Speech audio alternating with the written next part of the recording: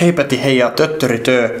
Mä en tiedä, tämä varmaan pitäisi olla nyt hirveän paljon paremmin laatuusta tämän videon, koska otan sen kännykkäni takakameralla.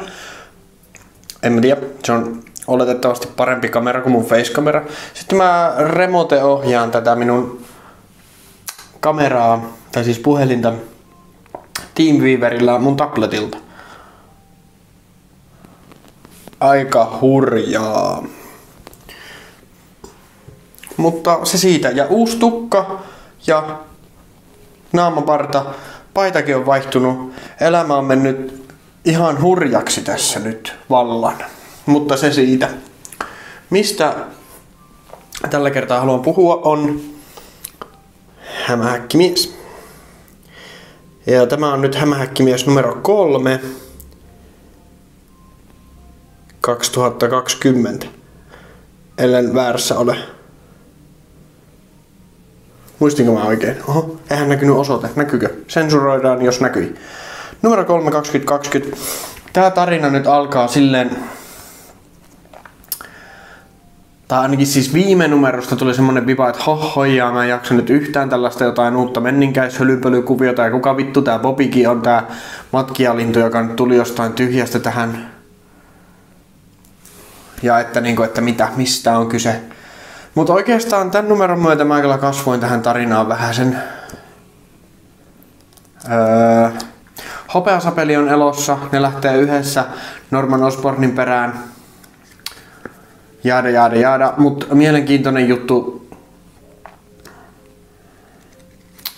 Tota, tota, no mielenkiintoinen juttu alkaa siitä, kun paljastuu, tai siis hopea sapeli selittää, että mitä varten hän on ylipäätään vihreän menninkäisen perässä, Norman Osbornin perässä tällä hetkellä, on se, että Norman Osborn rakentaa tota, aseita, uusia menninkäisaseita ja uutta menninkäisarmeijaa, paada, paada, paada, tota, oliko se Sam Karjassa? Sori, mun tarkistaa tämä nytten. Mikä se oli se mesta? Joo, eli se mesta on Symkaria. By the way, Chris, kun editoit tätä, niin leikkaa tosta hirveästi pois, koska olipa paljon tyhjää aikaa, kun etsit tota Symkaria. Tota joo, eli se mestan nimi on Symkaria, joka on Hopeasapelin tämä Symkaria on siis valtio, josta Hopeasapeli on kotoisin ja Norman Osborn eli vihreä menninkäinen on orjuttanut hänen kansansa ja pakottanut heidät te- tuottamaan tota, aseita itselleen ja luonnollisesti hän tekee ihan vitusti rahaa tällä toiminnalla. Ja tota... Mm, mm, mm, mm.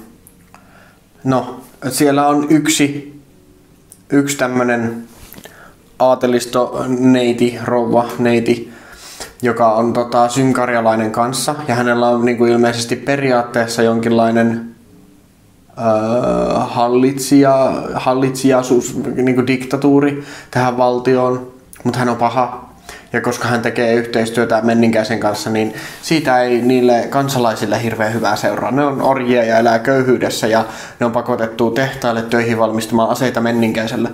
Hirveän mielenkiintoinen kuvio. Mutta ei siinä vielä kaikki. Meille paljastuu, kun hämähäkkimies ja hopeasapeli ja matkialintu hyökkää sinne pelastamaan niitä ihmisiä.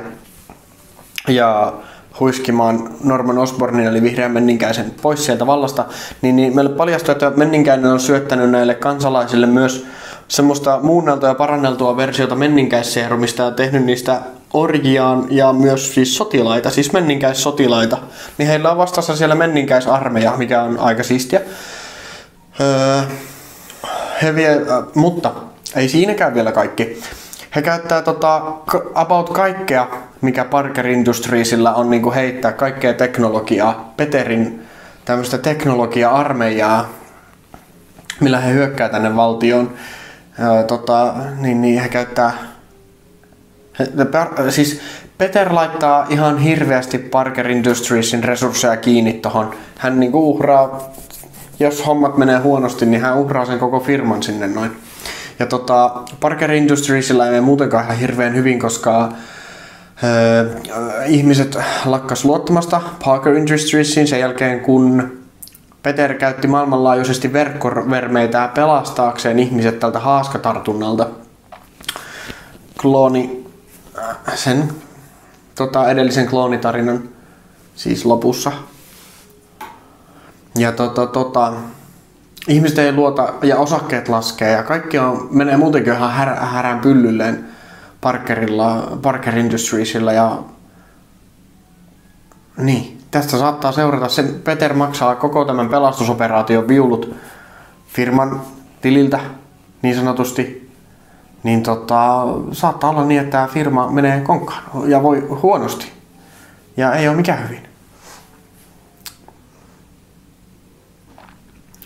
Ähm, ja me myös nähdään tässä numerossa tota, aavistus siitä, että ää, uudesti syntynyt tämä tohtori Octavius niin vielä vetelee jotain puikkoja ja naruja usuttaakseen YPKVVn Parkerin kimppuun, mutta myös ilmeisesti hänellä on vielä jotain steikkejä tuolla tota Parker Industriesin sisällä jossain kulisseissa. En tiedä. Siihen minusta tässä vähän viitattiin. Tulevaisuus kertoo, mitä tarina tuo sitten tullessaan, mutta nyt tämän numeron myötä niin olen ihan kiinnostunut tästä tarinasta. Vaikka se, mistä tämä tarina alkoi viime numerossa, niin ei tehnyt vaikutusta. Joo. Ja tämä Bobby-hahmo, eli tämä matkialintu, joka musta pelmahti ihan tyhjästä nyt taas. Ää, niin hän oli siis YPKVVn agentti ja tässä numerossa siitä lähtien kun YPKVV usutettiin vähän niin kuin Parker Industriesin kimppuun. Ää, siis Otto antoi semmoisen käsityksen Nick Furylle YPKVVn johtoon, että tota, tota, tota, että, että, että äh, Parker Industries on tavallaan niin kuin ihan huvikseen hyökkäämässä suvereenin valtion kimppuun. Mikä ei nyt ole koko totuus. Jotenka matkealintu palvellessaan YPKVVtä, siis ollakseen, se on siis käytännössä oli Nick Furyn agentti, niin hänet usutettiin Parkerin kimppuun myös, mutta hän irtisanoutui YPKVVltä siististi ja tota, tota, lyöttäytyi yhteen Peterin kanssa ihan niin kuin omin lupineen. Joo, se oli aika siistiä. Tässä oli myös paljastus siitä, että miten hopeasapeli selvisi sarvikuonolta se oli siis vuonna 2014 joku hopeasapeli kuoli. kuoli. Missä kohtaa se on, kun se kertoo, että miten se sieltä oikein selvisi? Onko se täällä jossain? Siellähän se on. Basically hän muuttui näkymättömäksi ja puukotti sarvikuonoa. En mä saa selvää tuosta kuvasta, puukottiko se sitä niinku keskelle ohtaa vai käsivarteen ja pakeni Joo. Sillä lailla. Sen pituinen se, se tästä ja nyt editointihuoneen puolelle. Moi!